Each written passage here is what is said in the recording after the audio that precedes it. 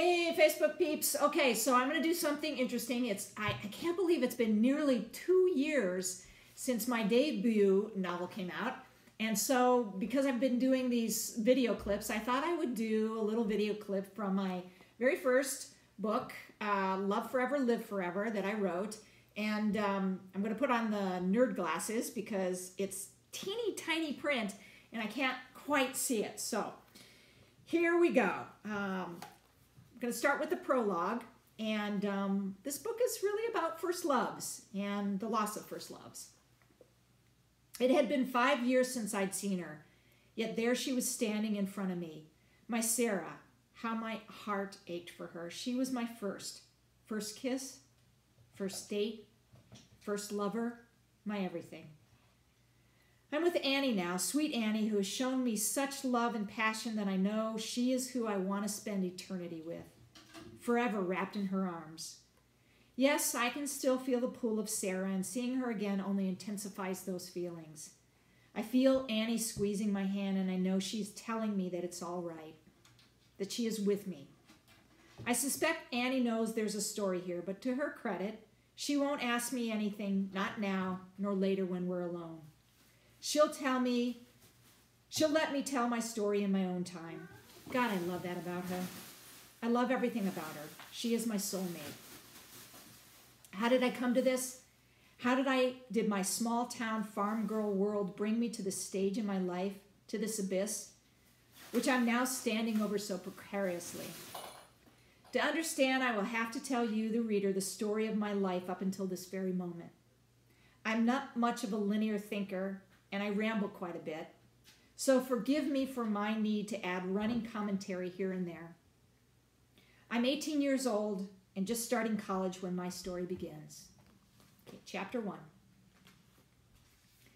It's the summer of 1998 and it's unseasonably hot for late August in Seattle. I'm sweating so bad that I have big armpit stains on my tank top as I scrutinize the old brick building. Students, students are bustling about, resembling ants in front of an anthill. The old brick building is their anthill. My dad is pulling books and CDs out of the back of the Honda. My mom is squinting in the sunshine, politely taking it all in, and I can tell that she doesn't like what she sees. The building is old, the rooms are small, and there is a decidedly musty smell to the place. Mercer Hall appears to be the oldest, most round dormitory that the University of Washington offers to their freshman students. Of course, they assign that dorm to me, I'm a reluctant student, but I'm not really given an option. All the Jorgensen girls will go to college whether they want to or not. Getting a full ride scholarship surely doesn't help my cause. Dad doesn't see the humor in blowing off my scholarship and traveling around Europe until I can see myself as a college student.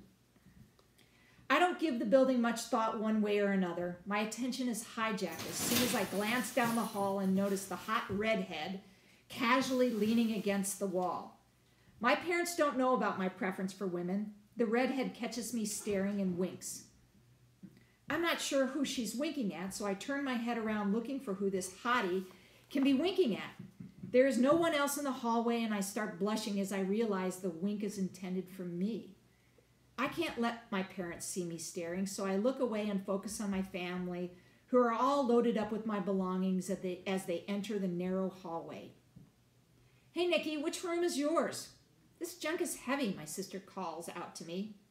Don't get your panties in a bunch. It's right here, room 210. Who asked you to come here anyway? I act like I don't want my sister here seeing me off to college, but really I do. My younger sister Tess is my best friend. We're only one year apart in age and we always hang out together. I'm really going to miss her, but I can't admit that to her. Nikki, be nice. You know you're going to miss Tess, so stop acting like you're all tough. For some reason, my mom feels compelled to point this out. Well, this building certainly has a certain amount of old world charm, my dad, the eternal optimist, remarks. You gotta be shitting me. This is the oldest dorm on campus. And it's not some historical landmark, Dad. It's just old and worn down. I can't help being a little snarky. Remember, I want to travel the world, not live in some old musty building with a bunch of silly freshman girls who are looking to find some hot guy to shack up with. For such an intelligent young woman, you sure find it hard to resist using profanity. Really, Nikki, I thought we taught you better than that.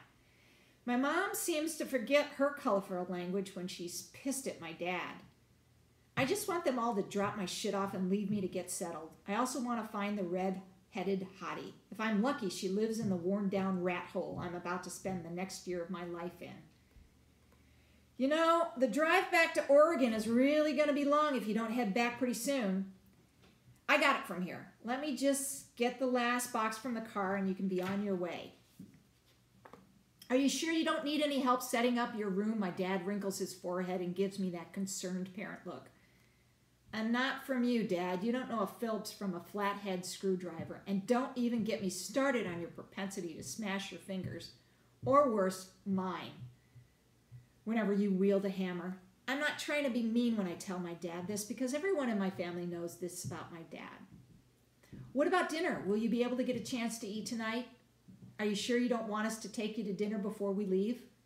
I suspect Mom throws this out there as a final attempt to delay their inevitable departure. It's always about the food for my mom. Mom's way to show love is to ensure we are well fed, and it's a miracle I'm not 300 pounds. I barely escaped high school with only an extra 10 pounds, and I'm a little nervous about what my freshman year will bring. I've heard about the freshman 10, which will make me a disgusting 20 pounds overweight. I've got some granola and other snacks for tonight, so really, you guys, you should head out so you don't get home in a re- eh, so you can get home in a reasonable hour. The waterworks begin, and my mom predictably starts crying. Oh, all right, I suppose we should get going. I can't believe my baby is in college. I notice that Dad is trying not to let it show, but I see a tear escape from his eye. I even see Tess get a little choked up. It's mass hysteria, and I catch it from my family. I can't help getting misty eyed too. It isn't my fault that my eyes start watering with the whole damn family starting a crying jamboree. Okay, that's the end of um, my little clip on Love Forever, Live Forever. And it's uh, Throwback Thursday, so hope you all enjoyed it. And see you later. Bye, Facebook. Peace.